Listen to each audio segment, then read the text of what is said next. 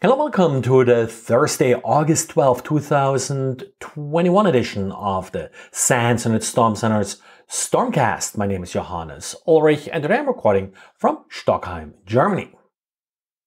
And Brad did some malware analysis again and uh, he looked at the latest example of TA551 or Shathak. Uh, this particular malware group uh, he talked about before and it's your typical malicious email. In this case, the attachment arrived as a password protected zip file. Now, once extracted, you got your standard word macros that then dropped additional malware, including the BazarLoader. Now, what we see more and more lately, of course, is Cobalt Strike Next. And uh, Brad has in the write-up uh, the traffic that actually Cobalt Strike uh, generated. That's probably the most interesting part here because you see this in so many uh, different uh, malware samples uh, these days. The traffic captures are again available for download, so if you would like to play with them yourself, you may do so. Just uh, look at Brad's diary. But well, it's not just Windows users that uh, click on things. Apple users aren't immune either, and Sentinel Labs uh, looked at uh, AdLoad, uh, macOS malware family that has been around since 2019 and Sentinel Labs looked at 150 unique samples just this year. What's sort of interesting here and pointed out by Sentinel Labs is that Apple's XProtect, which is supposed to protect you from malware like that, apparently isn't that terribly effective. Well, XProtect is really very much a signature dependent and typically easily evaded. According to the article, there are about 11 different signatures in XProtect for different AdLoad uh, versions, but the AdLoad keeps mutating and specifically evading uh, these signatures that Apple has been adding. But with all the variability of these attacks, uh, AdLoad apparently still uses these fake flash download pop-ups in order to trick users into installing the malware. And apparently Android users like to click on things too, in particular if they're advertised by their Facebook friends. Zimperium has an article about what they're calling the FlyTrap malware.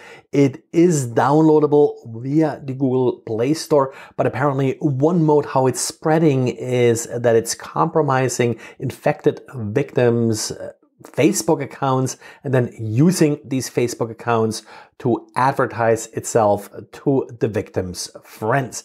This, of course, a little bit more likely that a user will click on a link that's being sent uh, by a longtime Facebook friend.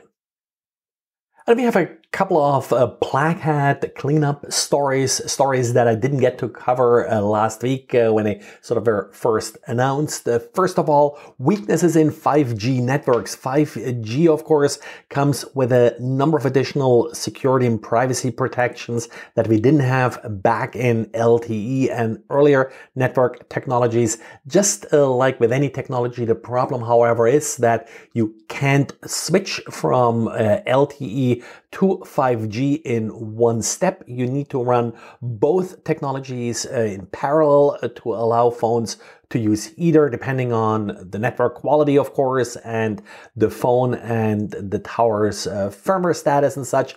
So the result is it's downgradable. And with that, a lot of these special 5G features can be turned off and you're back in the good old 4G or even I guess down to 3G and uh, the calls are eavesdroppable by tools like Stingray. And Shir Tamari from Wiz.com uh, did uh, publish a paper at Black Hat and also now a blog post outlining a weakness in some DNS uh, cloud providers.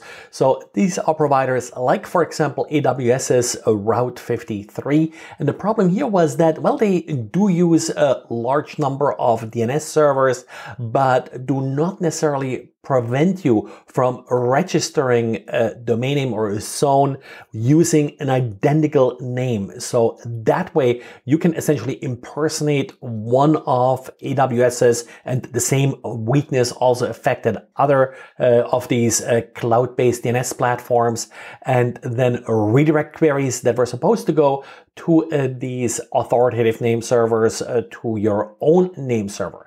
Pretty interesting uh, weakness. It has been fixed now. And uh, as part of the blog, they also included a link where you can test if your own domain is potentially vulnerable. Well, and that's it for today. So thanks for listening. There's a chance that there will not be a podcast on Friday.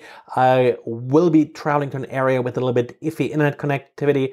So uh, if you don't hear me on Friday, maybe Monday or even Tuesday till I publish the next uh, podcast. Thanks and talk to you again, well, tomorrow or Monday, Tuesday.